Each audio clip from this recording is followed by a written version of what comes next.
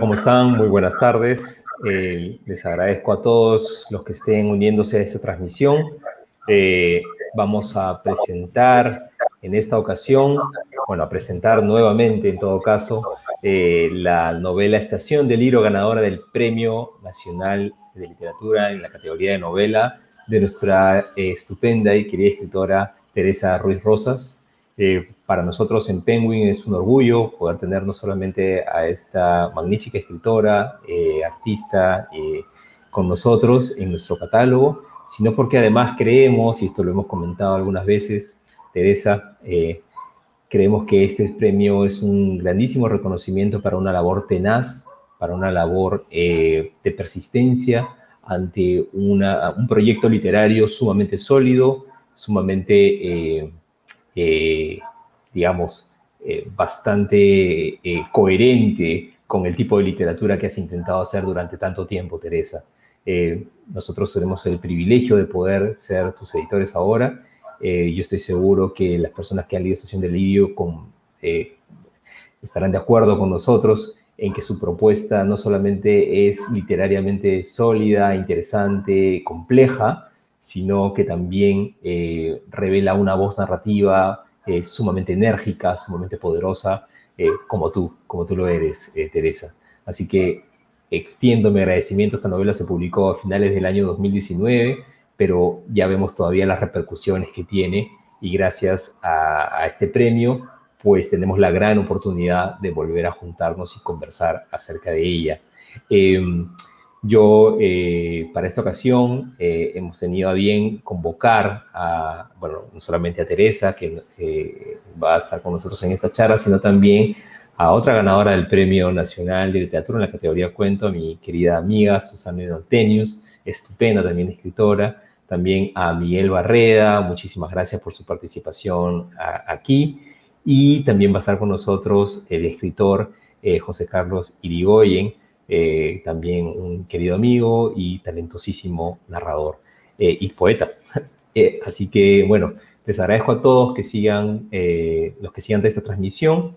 encantados de tenerlos aquí con nosotros y le doy la palabra en este caso a Susane, luego a José Carlos y Miguel se va a encargar luego de establecer algunas preguntas interesantes para entrar al universo de Estación del Lirio. Muchas gracias a todos. Por favor. Gracias, Johan, por la invitación. Estoy encantadísima de acompañar a, Teresa en la presentación de esta estupenda novela que ha sido, ha sido de verdad muy, muy grato leerte. Eh, yo he tomado algunas notas para no olvidarme de decir las cosas importantes, eh, porque además le tengo un poco de miedo a la cámara, ¿no? Yo debería ir a la clínica del doctor Tauler para que me cure esa fragilidad, ¿no? Pero ya la cerró, no, no puedo, ya no voy a poder atenderme con él. Eh, a ver, Tere. Estación del Lirio es una novela que contradice su nombre, porque es todo lo contrario de un delirio. Es una novela inteligente, lúcida, escrita con, esa sofisticación natural que tú tienes, ¿no? Sin poses, sin pretensiones, ¿no? Donde tu pericia y tu habilidad tan cultivada se expone de una manera plena. Eh, por momentos ha sido muy divertida la novela y yo siempre me admiro de los escritores que logran introducir humor en una, en una trama, ¿no? Como si no fuera ya suficiente trabajo equilibrar y hacer consistentes los personajes, el argumento, la secuencia, los escenarios, ¿no? Además, tú introduces humor y de una manera muy eh, efectiva. Eh, es una historia, Estación del Lirio, que, que fluye y que intriga, ¿no? Al final de cada capítulo queremos seguir, ¿no? Es como que ya al final de la noche estaba que se me cerraban los ojos, decía ya, un párrafo del siguiente capítulo, un poquito más, un poquito más. Y así me enganché y, fue muy fácil de leer, a pesar de que eh, me detenía por momentos también a pensar en las cosas que me querías decir. Hay un gran inicio en esta novela, ¿no? Como hemos visto en el book trailer. es mediados de los 80 y hay 14 mujeres en la estación de trenes de Stuttgart están a cargo de la protagonista, Anne Kall. Y Anne tiene que embarcarlas a diferentes destinos de Alemania, ¿no? Es como que están todas estas mujeres que acaban de ser dadas de alta y ¡pum! van a salir disparadas hacia diferentes puntos de Alemania, ¿no? Y además nos da pinceladas de los delirios de cada una, ¿no? Que, van a, volver en diferentes momentos de la novela. Por ahí hay una que se llama Susane, como yo, y es la más agresiva, ¿no? Pero por suerte este, se domestica.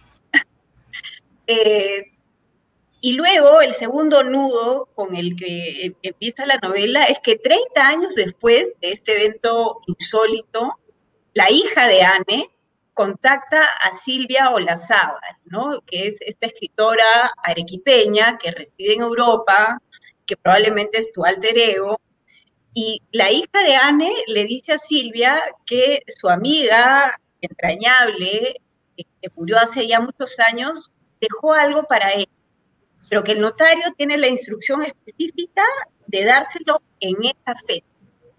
Entonces eso otra vez nos, provoca una eh, gran curiosidad, ¿no? Nos detona preguntas, que es lo que hace el, inicio de un buen libro. Queremos entender quién es Anne, por qué estuvo a cargo de este grupo de mujeres, ¿no? Cómo se ha gestado esta situación tan inusual, ¿no? Y por qué tuvo que esperar tantos años para, para entregar algo, ¿no? ¿Qué secreto hay ahí, ¿no? Eh, y a la vez que se nos disparan preguntas y nos queremos sumergir en, en las páginas del libro, empezamos a conectar con nuestras vidas comunes y corrientes, ¿no? Que al menos es lo, lo que me pasó a mí, con, eh, conectar con mis propios, con mis propios delirios. Eh, el gran tema del libro, sospecho yo, y quizás esto vamos a, discutir con, con, los demás, es, es el arte como un fin último de la vida, ¿no? Ese vértigo de la belleza del que tú hablas en, uno de los primeros capítulos y, que es una conversación entre Anne y Silvia, ¿no? Ese vértigo de la belleza que hay en, todas las disciplinas artísticas, ¿no? La pintura, que es muy evidente en, la novela, porque se habla mucho de, pintura, pero también está la danza, ¿no? El, ballet de Felicitas, que es la hija de Anne, hay referencia a la música, ¿no? Hablas de Johannes Brahms en München, ¿no? Y yo que soy la eterna enamorada de Brahms, ya caí fulminada en, ese pasaje. Eh, hay también una referencia a la arquitectura en el personaje de Helio Magente, ¿no? La literatura de Silvia, por supuesto, de otros autores que Y al final yo pensaba, quizá no hay una referencia explícita a, a la escultura, pero la, novela es una escultura en sí misma, ¿no? Porque está esculpida con, una estructura ingeniosa y bien configurada con saltos en el tiempo y saltos de lugares, ¿no? De Arequipa, te vas a Alemania, a París, a Jerez de la, de la frontera. Y, y, la novela está esculpida también con esta prosa hábil que tú tienes, ¿no? En la que barajas palabras, las colocas, las estiras, las cambias, las vuelves a, colocar y no queda ni una arruga entre ellas. Ha sido de verdad una, una delicia leer. Eh, me has encogido el corazón por momentos y me has arrancado varias risas, ¿no? Sobre todo esta escena de las ranas saliendo despavoridas por toda la casa, que son como las pequeñas loquitas a las que acaban de dar de alta, ¿no? Que uno no sabe qué va a pasar y a, dónde, a dónde van a ir y qué, qué, van a originar en su, en su vida. Ahora, el arte no es solo un objetivo vital, ¿no? Es también un ancla para las protagonistas, ¿no? Que son estas mujeres que migran, que cambian de apellido, cambian de ciudad, y que solo se sienten en casa cuando logran hacer algo creativo, ¿no? Y, es, una coincidencia de que esta exploración la, alcanzan cuando se han alejado de su tierra natal, ¿no? Porque Anne pinta collages en Arequipa, Silvia escribe en Europa, ¿no? Entonces ahí me llevó a pensar en, un intercambio cultural como una metáfora de no pertenecer, de ser una mente distinta, delirante, en un entorno extranjero, ¿no? Y, creo que esos somos los artistas, ¿no? Los eternos extranjeros del sistema.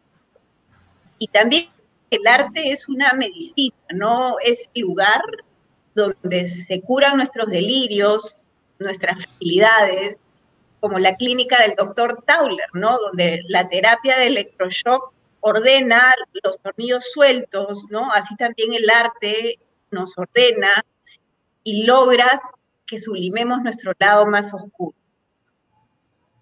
Eh, el libro tiene muchos personajes interesantes, además de Anne y, de Silvia y de las 14 mujeres liberadas. Está la solitaria Felicitas, ¿no? La, la hija de Anne, la entrañable Azucena, ¿no? Y el, doctor Tauler, que merecería un libro aparte, ¿no? Me parece genial el personaje de él, es, curador de, de arte, es curador de almas, y también es violonchelista, ¿no? Es, un hombre brillante, pero que de pronto, cuando alcanza esa edad en que las mentes brillantes se supone que han alcanzado la, sabiduría, decide dejar la ciencia, y concentrarse en el arte, ¿no? Y eso también es una, una imagen, una metáfora que me hizo pensar muchísimo, ¿no? Y, él mismo tiene esta frase en, algún momento que, que, parece sacada de Nietzsche, ¿no? Él dice, la existencia sería triste y pobre y no tendría ningún interés sin la presencia del arte. Y para terminar, voy a citar otra frase de la novela eh, en la que tú citas a Krista Wolf eh, y que dice, todo cuanto deben saber ha de tener lugar ante sus ojos y sin embargo nada verán. Y ahí me quedé pensando en, que es pues el arte lo que nos permite ver eso que tenemos delante, que está frente a nuestras narices, pero que la vida misma nos lo vela. Así es que eh, te felicito, Tere, ha sido eh, una linda experiencia leer tu novela, me ha hecho pensar mucho, sentir mucho y me alegra muchísimo el reconocimiento del, Premio Nacional para ti. Gracias.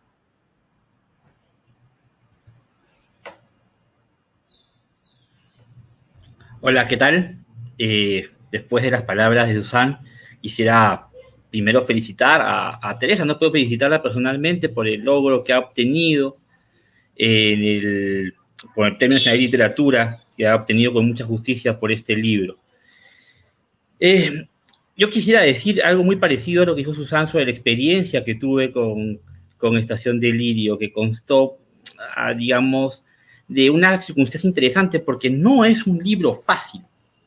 Empecemos por ahí, no es una novela sencilla, no es una novela que le regale las claves al lector para poder de alguna manera, eh, eh, digamos, descifrar la voluntad. No, es una novela que tiene una complejidad, que tiene una abigarrada forma que la hace de alguna manera compleja y a la vez sugerente y a la vez incitante para comprender los distintos planteamientos que Teresa nos muestra aquí.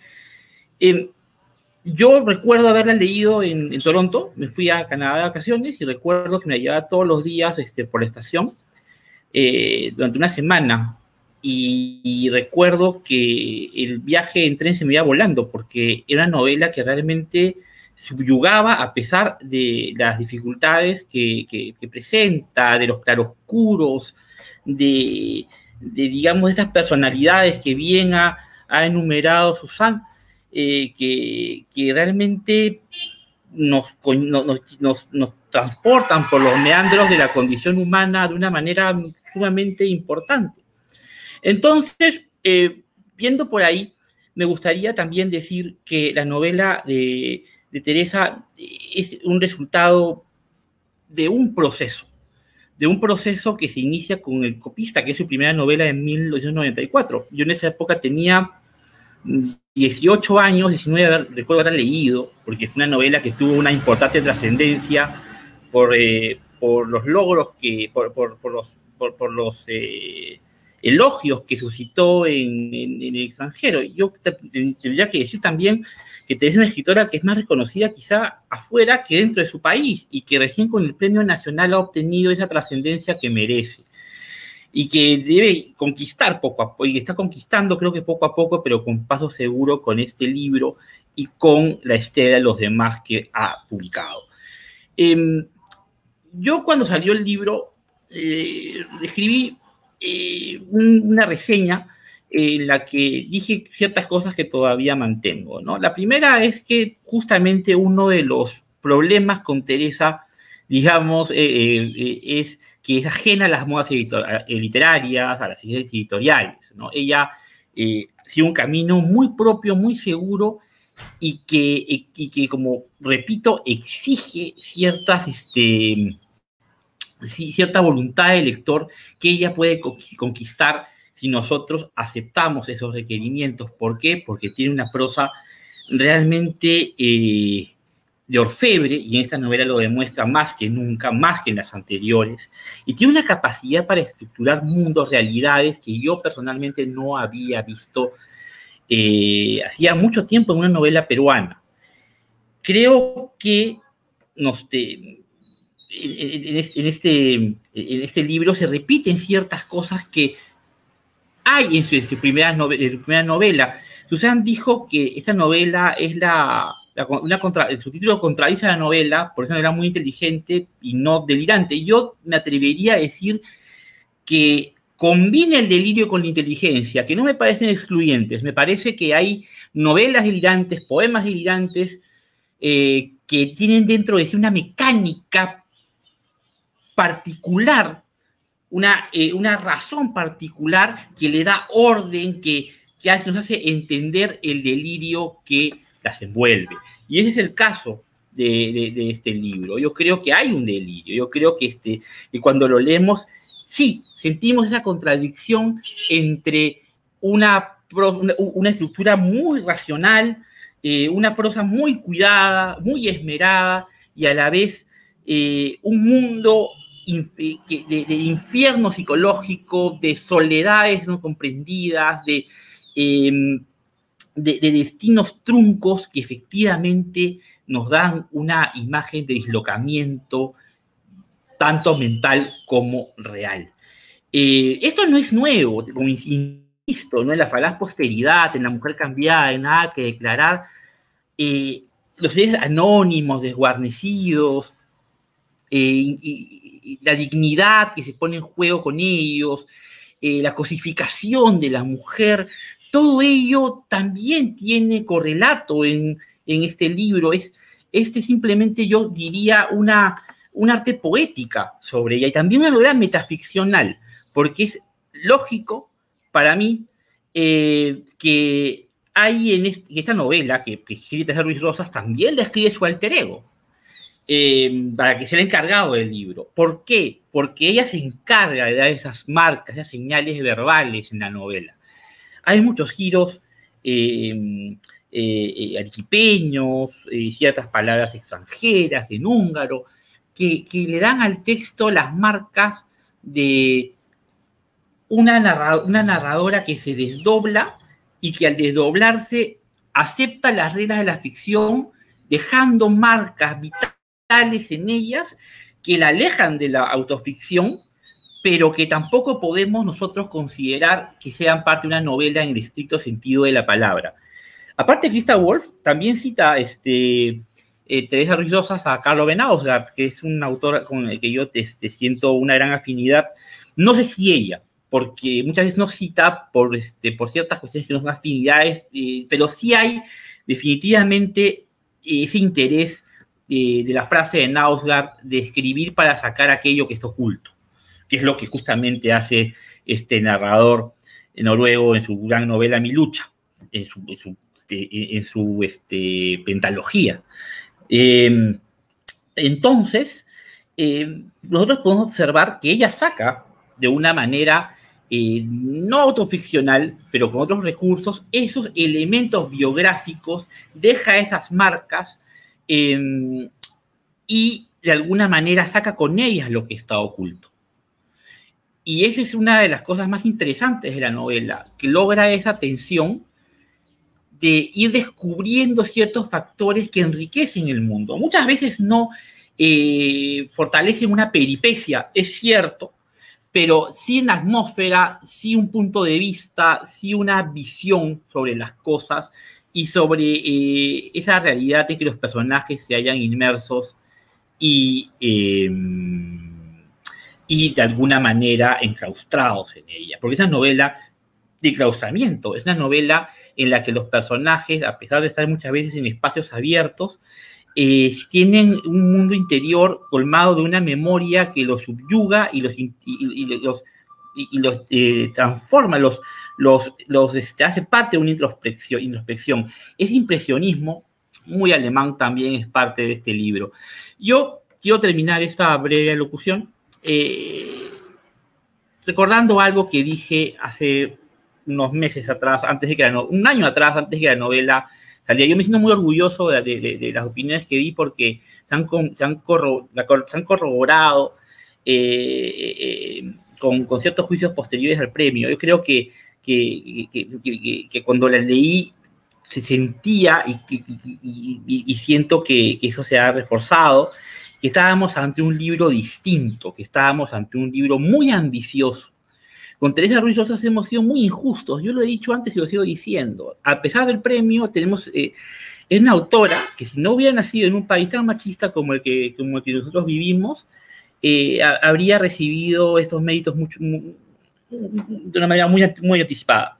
Pero ya está. Y me parece que este libro debe ser leído por cualquier interesado en literatura peruana, me parece, eh, y, y por cualquier lector que intente entender los caminos que nuestra literatura ha dado en los últimos 25 años, porque Teresa Ruiz Rosas es parte imprescindible de ellos. Muchas gracias.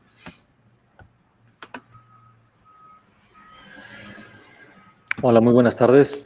Para mí es un enorme placer eh, y un honor estar junto a tan destacados literatos y literatas no para comentar, sino para celebrar la, novela de Teresa Ruiz Rosas, Estación Delirio, eh, puesto que, como se ha mencionado ya varias veces en esta conversación, pues eh, marca un, hito muy importante.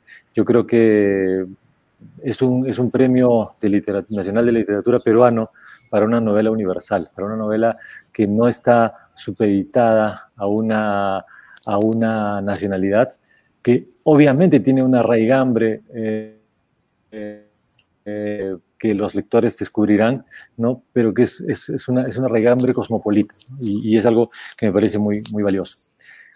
Teresa y yo somos amigos desde mucho tiempo, eh, conozco muy de cerca su obra y estoy seguro que si no estuviera ya adaptando al cine nada que declarar, seguramente Estación Delirio sería la siguiente película.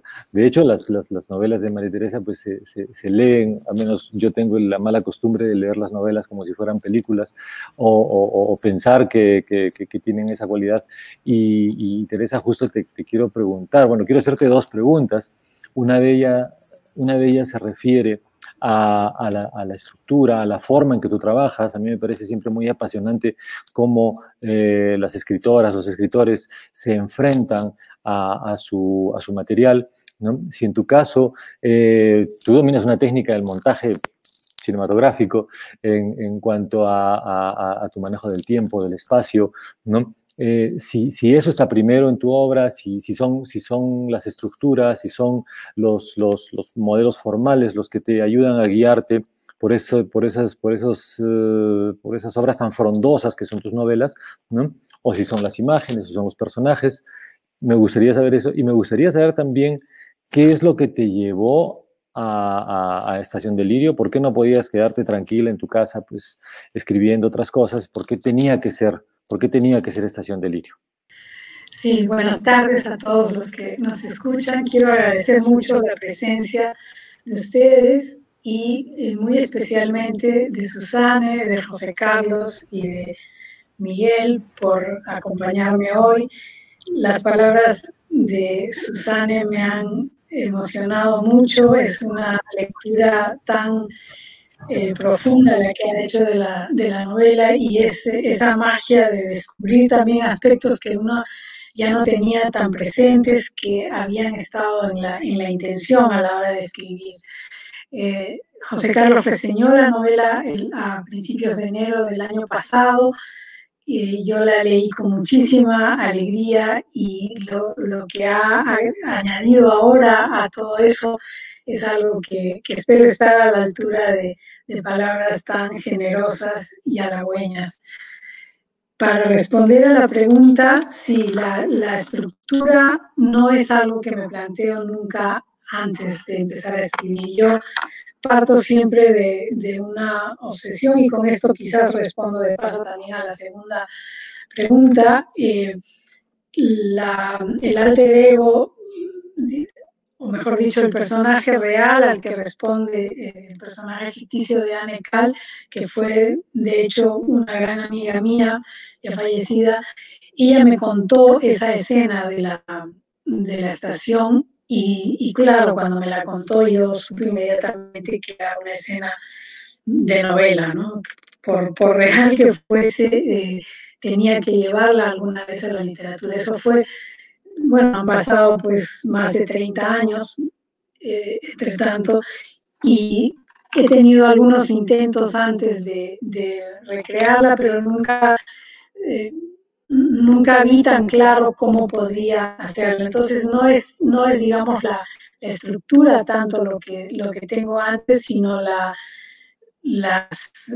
el contexto más bien en que la voy a en que la voy a realizar, porque la estructura la voy modificando a medida que voy escribiendo, a medida que la novela va ampliándose, va ganando espacios, va ganando personajes e incluso va teniendo algunos temas más adicionales, ¿no?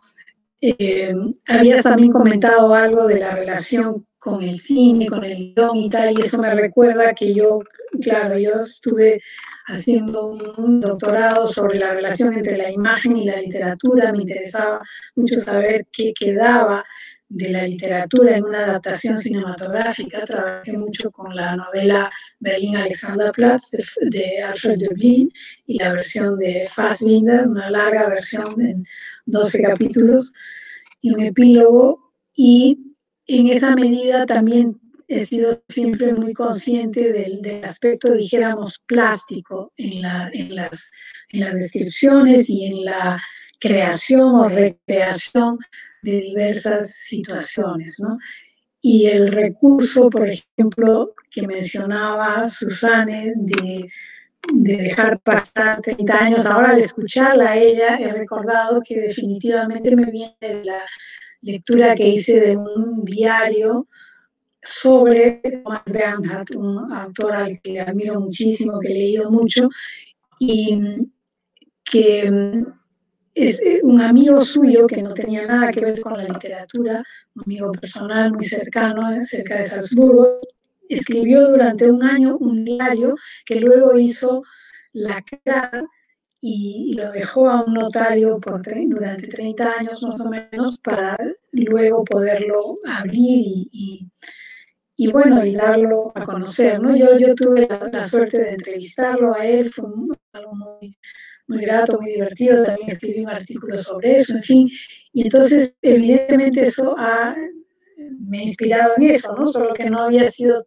consciente antes que venía de allí. Entonces eso es, repito, lo mágico de poder hablar con, con lectores eh, que tienen tanto interés en, en ocuparse de un libro para, para el propio autor. En cuanto a lo que mencionaba eh, José Carlos de, de Karl Ove por supuesto es un autor al que admiro muchísimo. Tuve la suerte además de escucharlo en vivo en la feria de, Frankfurt eh, el anteaño y me, y me gusta mucho esta, esa veracidad que hay, eh, más allá, digamos, de lo verosímil, hay una enorme veracidad en lo que él cuenta, porque eh, habla, claro, lucha es la pentalogía sobre, sobre su vida, pero que al mismo tiempo él aclaró muy bien en esa ocasión la, importancia que tenía de, que él fuese ya un autor consagrado cuando eh, decidió eh, emprender ese proyecto que era mi lucha. ¿no? Por eso también llegó a buen puerto de, aquel modo. Y, Cassandra, bueno, Cassandra es un personaje este, absolutamente entrañable, importantísimo en estos tiempos, además llenos de incertidumbre, pues la, tengo más presente que nunca. Muchísimas gracias, muchísimas gracias, Teresita. Eh, bueno, ahora quisiera plantearte otra, otra pregunta, pero que la hago extensiva también a, Susana y a, José Carlos. Eh, en Estación de Lirio, pues somos testigos de cómo un grupo de, personas pues interpretan la realidad de una manera no convencional, ¿no? Si queremos llamar a eso enfermedad, si queremos llamar a eso este, una disposición especial, bueno, ya eso es creo que también un, punto de discusión. Pero ustedes, ustedes como autores, ¿cuál es su relación con la, con la realidad? Quiero decir, para, para, uno como cineasta muchas veces el entorno, la realidad es una locación, ¿no? Es, es, un lugar, es, es, algo para filmar, ¿no? Este, Teresa, tú bien aprovechas en el mejor sentido de la palabra los, eh, los entornos, las personas real existentes, las conviertes en personaje. Uno de tus errores fue incluir al que habla en una, en una novela, tal cual, creo bueno, es un personaje que da risa, entonces yo creo que este, puede, puede aportar algo. Pero, pero tú eres una autora que, y, y la pregunta para los, los, tres, o sea, eres una autora que para, para, quien la realidad es solamente el lugar del que, del que recoges inspiración, del que recoges material de trabajo, o, o cuál es tu relación con esa, con esa realidad. Bueno, yo, digamos, no, me defino como una escritora realista en realidad, ¿no? O sea, a mí me interesa mucho la invención en la literatura. Entonces, eh, inventar creo que es lo que el mayor reto para mí en la, en la escritura. De hecho, los 14 personajes en, en, esta novela, concretamente las 14 pacientes, eh, la totalidad de sus biografías que aparecen allí son inventadas, ¿no? No tienen, yo no he tenido, eh, si bien he ido a, hablar incluso con el médico asistente del, que fue en vida Tauler, que tiene pues otro, otro nombre naturalmente, no he tenido acceso ni siquiera en el lugar donde está todo su legado, el museo de la colección que él donó al estado de Baden-Württemberg y los, eh, todos los expedientes clínicos no me han dejado ver absolutamente nada de, ese material. Entonces he tenido que, entre comillas, porque ese es el, reto literario, que inventarme esas vidas. Y, y en, digamos que la, relación entre la, entre la ficción y la verosimilitud, que se supone que es la garantía de la, de la buena literatura, ese, ese juego de fuerzas entre las dos, creo que es el, el, ir en la cuerda floja cuando se escribe, es la parte de, mayor, digamos, donde hay que ser un equilibrista y por lo tanto de mayor emoción eh, en lo que se llama la experiencia literaria. Entonces, eh, eso, eso por una parte, y por otra, que eh, por mucho que uno se inspire también en la realidad y que tenga ganas de llevar la realidad a, un texto, creo que en esa, en esa transición del recuerdo a, lo escrito se va, se va aumentando mucho eh, con, con digamos, elementos de, la propia cosecha, por así decir, que sería justamente la invención, la ficción, etc. Y entonces, ese es la, creo que uno de los, de los momentos más halagüeños es cuando uno se, se olvida ya de, de, de, cuál fue el punto de partida y está metido en la, en la historia que está creando como que esa es la, la verdadera entidad, ¿no? esa, esa nueva criatura, por así decirlo. Y, y, eso es algo que yo desde luego disfruto mucho cuando empiezo a, establecer una, una relación con, con, los personajes, cuando me los imagino ya eh, dentro de ese universo prácticamente conversando conmigo, ¿no?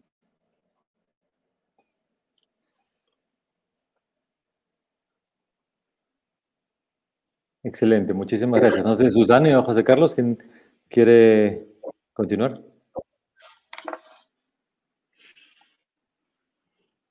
Tu micro está cerrado, Susana. Tu micro. Disculpen. Por deferencia lo apagué y después me olvidé de conectarlo. Eh, yo creo que efectivamente la realidad es un punto de partida, es como el insumo eh, para, empezar a, imaginar una historia, pero mucho más interesante que contar la realidad tal cual es contar cómo podría haber sido, ¿no? Y en ese intentar ramificaciones de la historia nos conectamos pues con, con nuestras angustias, rabias, miedos, nos vamos conociendo y de pronto ya la historia es otra, ¿no? Ya, ya camina sola.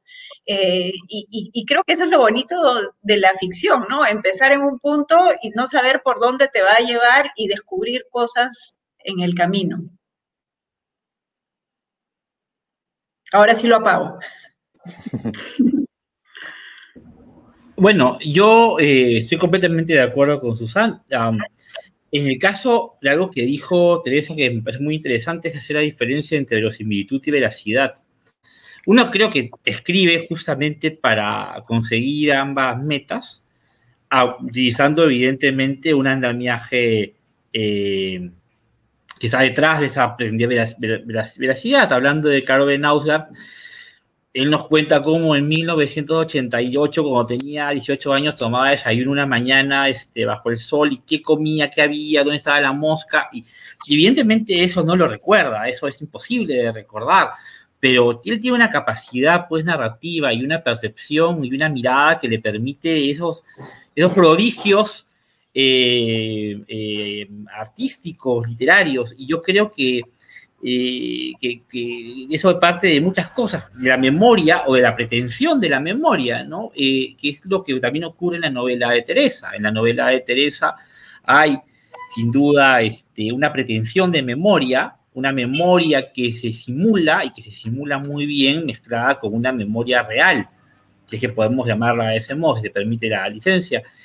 Em, y eso depende mucho de algo que ha mencionado Miguel, que es el tema del montaje, que es el tema de, esa pericia formal que nos permite que la realidad, la verosimilitud, la realidad pueda eh, eh, eh, tomar una manera, aunque sea artificial, convincente.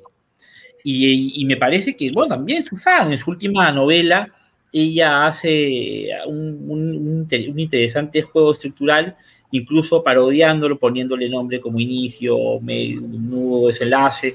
y, digamos que esa, esa este, manera de, armar realidades mediante una mediante un, andamiaje de recursos, incluso a veces exhibiéndolos abiertamente, como ocurre en las novelas que he mencionado, eh, no solamente dan un indicio de realidad, sino dan algo más interesante todavía, eh, la, la, capacidad del, escritor de darle límites a esa realidad y de marcarlos, y a la vez que el lector no pierda eh, esa persuasión que, se ha intentado conseguir.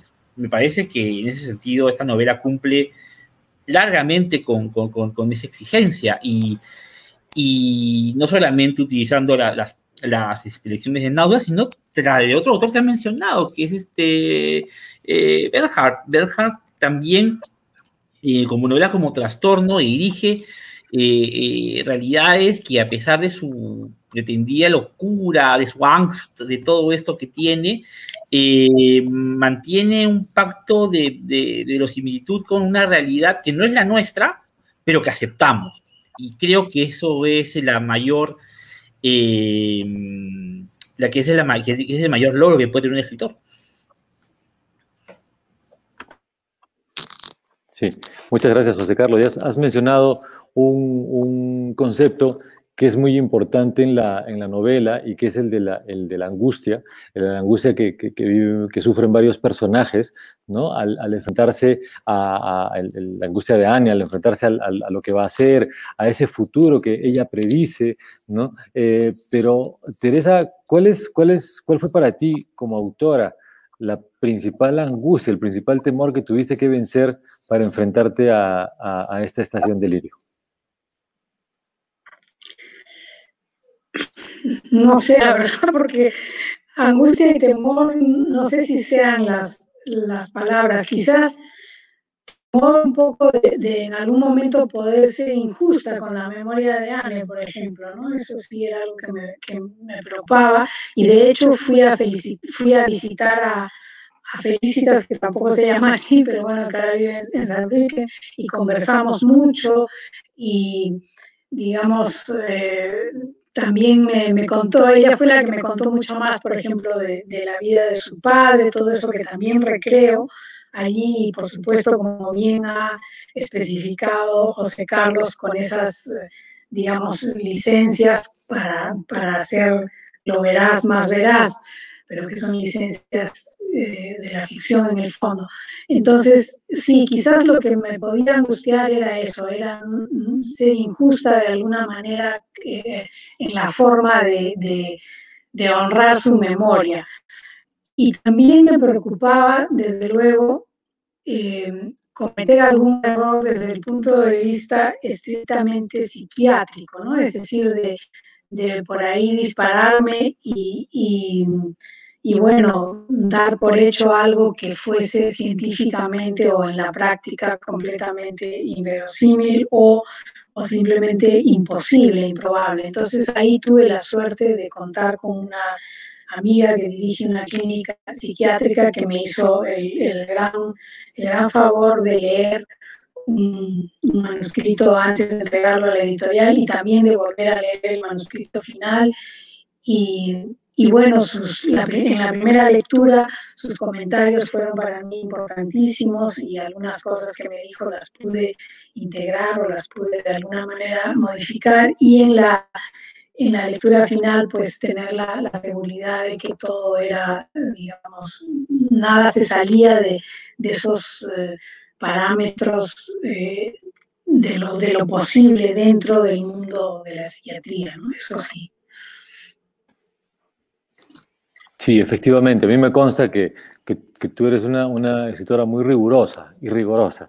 ¿no? hay, mucho, rigor en la investigación, eso creo que es importantísimo, ¿no? porque sobre todo si se trata de ficción o, fantasía, entre comillas, la, la, investigación tiene que ser muy sólida para efectivamente...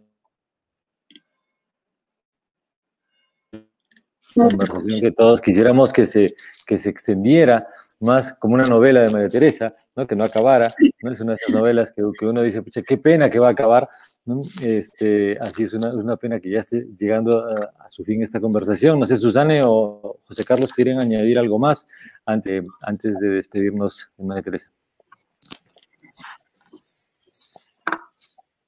Ahora tú estás en micro, Tu micro está apagado, José Carlos. Y ahora sí, quiero que, quiero que cometa una infidencia, Teresa. ¿Qué estás haciendo ahorita? ¿Qué estás escribiendo? Cuéntanos. bueno, si supieras, escribiendo ahora nada, porque tengo una novela que empecé el año pasado, que está, tengo ya unas 80 páginas, que por superstición no te diré ni de qué trata, ni el título, ni nada, pero que ahora mismo tengo eh, paralizada porque estoy traduciendo. Estoy traduciendo las, los diarios de Stefan Zweig, que es un libro de 650 páginas, 200 de las cuales son notas. Entonces, bueno, es algo de, de bastante envergadura y de, y de cuidado.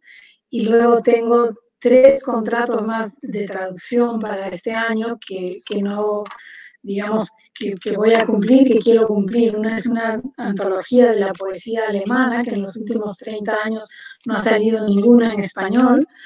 La otra es un libro de poesía de, de Pilinski, un poeta húngaro, que se cumplen los 100 años de su nacimiento este año, un poeta muy, muy interesante y muy difícil, sería una traducción del húngaro, y después de eso una novela de eh, Ernst Kaiser, un autor que fue más o menos contemporáneo de Musil, austriaco, que es la historia de un crimen, una novela también muy, muy, eh, muy literaria por su lenguaje y, y, que en su época no fue en absoluto reconocida, ¿no?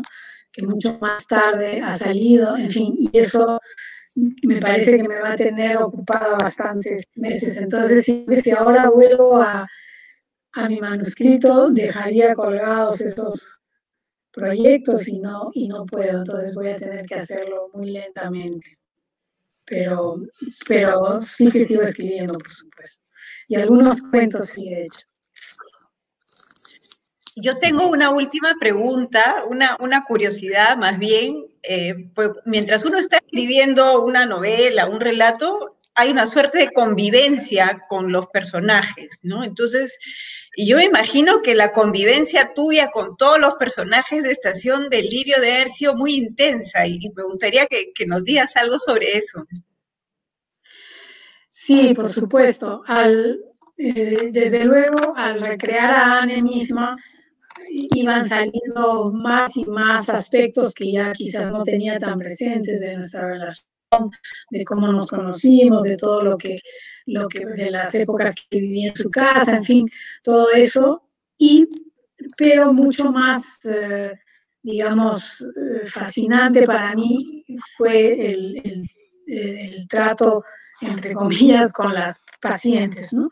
Es decir, las diferentes dolencias, lo que iba lo que iba formándose cada vez en la historia de cada una. Sí, eso, eso ha sido algo muy, muy especial como, como experiencia literaria, de todas maneras. Y por supuesto con el propio eh, psiquiatra, ¿no? que es un personaje muy, como dijiste tú, con, con acierto al comienzo, él merecería otro libro. Lo que pasa es que existe su autobiografía pero que llega solo hasta un momento, eso también lo, digo en la novela.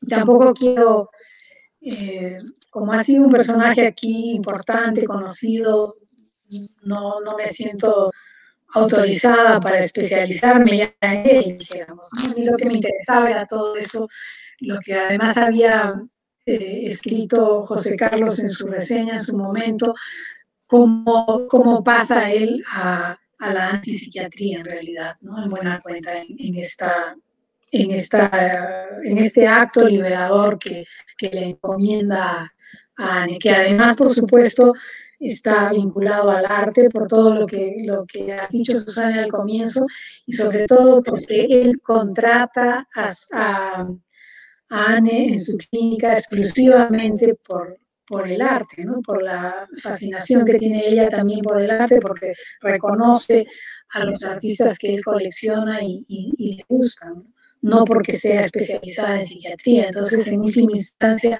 hay esa, hay esa, no solamente esa afinidad, sino esa fe en, en todo lo que significa el arte y la sensibilidad artística. Es lo que nos conecta. Así es. Bueno, muchísimas gracias, muchísimas gracias Susane, José Carlos y naturalmente Teresa. Para mí, repito, ha sido muy grato poder participar en esta conversación que cierro solamente recomendando Estación Delirio, búsquenlo, el libro digital o físico, físico, si pueden físico, mejor. Lo mejor que le puede pasar a un árbol que muere joven es convertirse en libro. así que Muchísimas gracias. También está aquí con nosotros, me parece, o Johan. Johan sí, sí. Okay. Estoy. Muchísimas gracias. Excelente recomendación. ¿eh? Lo mejor que le puede pasar a un árbol es convertirse en un libro. Totalmente cierto. Muchísimas gracias, Miguel. Te agradezco eh, tu, tu, participación aquí. También a Susane, a José Carlos. Eh, muy interesante todo lo que han mencionado acerca de, la novela, muy generoso, pero sobre todo a ti, Teresa, te agradecemos mucho que, confíes en, Penguin para publicar tu obra. Es un privilegio, como te digo, tenerte en el catálogo y este premio pues es más que merecido. ¿sí? Los invito a todos eh, a comprar, a adquirir Estación Delirio y a confirmar esta certeza de esta gran narradora de la calidad de esta gran narradora. ¿sí? Muchas gracias a todos los que nos han seguido de parte de Penguin Random House. Un abrazo. A cuidarse.